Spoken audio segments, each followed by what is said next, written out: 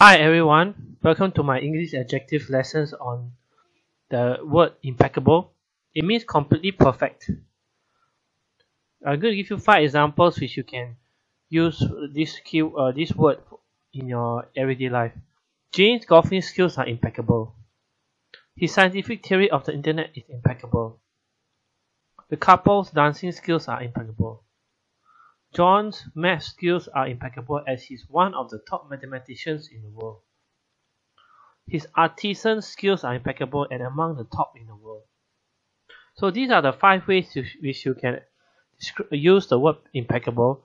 So if you have any queries or any uh, requests for adjective explanations, you can always leave your comment below. And please subscribe to my channel for more updates. Thank you for watching.